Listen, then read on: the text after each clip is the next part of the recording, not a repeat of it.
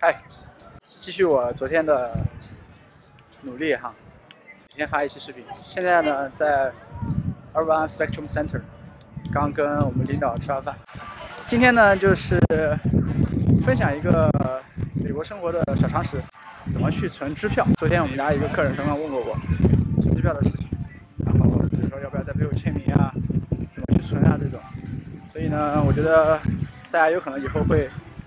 呃，遇到这类的事情，那么我先分享一下。美国这边呢，其实电子这种转账啊非常落后，没有像国内那么方便。我前两天看一个搞笑视频，一个乞丐在乞讨的时候，车内的这个女主人说我没有零钱，然后这个乞丐就拿出一张二维码的这个这个纸让他来扫描，然后这个女的就转给他二维码，转给他钱，这样电子乞讨。美国这种呃，虽然有 PayPal 这种。但是还是相对没有中国那么方便，他比较习惯用支票。支票的好处是显而易见的，你可以随身携带一个一个笔，还有你的支票本，不用带现金。支票呢，它是有一种记账的功能，你支付出去的支票，别人兑换了之后，在银行里面都会有列印的。那么下面就讲到我们怎么去存这个支票，有三种方式。第一种方式是小额的支票，你可以在手机上存，下载一个 app，里面就有它的选项和功能，你可以把支票背面。需要你签字的地方签上字，然后就用手机去照，它就自动存进去了。这种呢，你支票不会被收走。第二种是大额的，就是比如说，如果这张支票的数额已经超出了你银行的限制，你不能在手机上存的时候，那么你就要去银行的 ATM 机或者是柜台去存。去 ATM 机的话呢，你就背面不用签字。你直接放进去就可以了。稍后会演示一下这两种存支票的方式。第一种是在手机上，第二种是在 ATM 机上面。所以待会儿见。现在给大家演示一下存小额的支票在手机上。OK。所以现在可以打开你的手机银行的 App，我是用的那个 Chase 银行，然后指纹密码。所以点左上角的菜单。就有 deposit checks，然后你可以选择存到你的哪一个银行账户里去。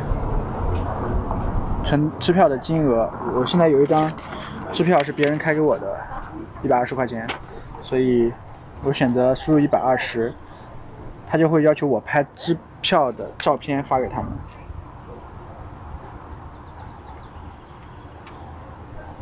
正面。然后反面我已经签过字了，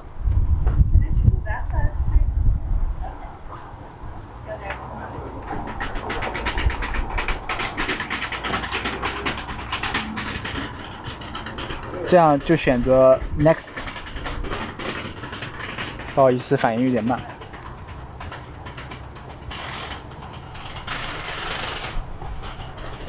选择 Deposit。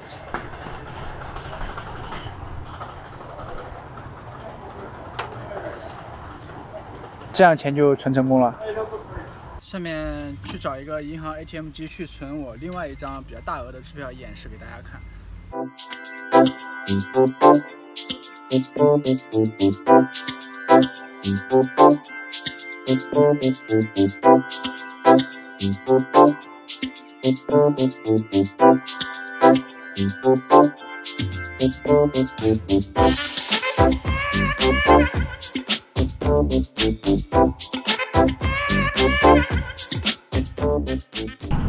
OK，现在就是怎么在银行 ATM 机去存你的支票。先插入你的银行卡，输入密码。从声音能够分辨出来大概是什么数字？Come come come。OK。所以你可以选 Deposit，他会问你存现金还是支票，你可以选 Checks，然后你把支票放进去。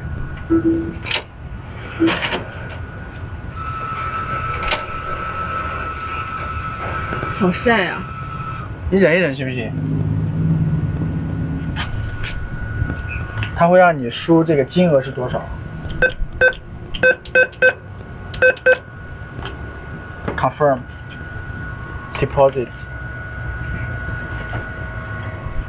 continue。他会让你选你要不要收据，收据上面要不要支票的照片，然后我选要。他他还会打印一个收据给我。所以这个收据上面是有支票的照片的，你保存好你的收据，你就知道是哪张支票。